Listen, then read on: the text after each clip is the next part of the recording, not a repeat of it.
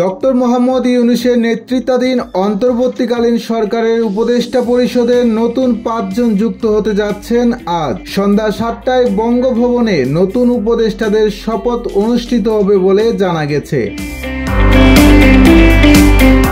এদিকে প্রধান উপদেষ্টার প্রেস সচিব শফিকুল আলম বিষয়টি নিশ্চিত করেছেন। নতুন উপদেষ্টা হিসেবে কে কে যোগ দিচ্ছেন সে বিষয়ে এখনও পর্যন্ত কিছু জানা যায়নি। তবে সংস্কৃতি উপদেষ্টা হিসেবে গুণী পরিচালক মুস্তফা সরোয়ার ফারুকির নাম শোনা যাচ্ছে। আজ দুপুর থেকেই তার নাম আসছে আলোচনায়।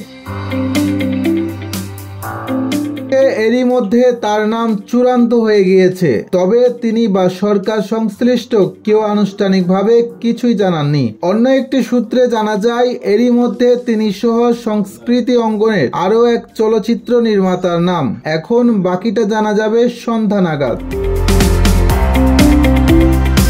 এর আগে ছাত্র জনতা গণ অভ্যুত্থানের পর গত আটই আগস্ট অন্তর্বর্তী সরকারের প্রধান উপদেষ্টা হিসেবে ডক্টর মোহাম্মদ ইউনুস শপথ গ্রহণ করেন। বর্তমানে প্রধান উপদেষ্টা সহ সরকারের সদস্য একুশ জন। তাদের মধ্যে অনেকেই পালন করছেন একাধিক গুরুত্বপূর্ণ মন্ত্রণালয়ের দায়িত্ব।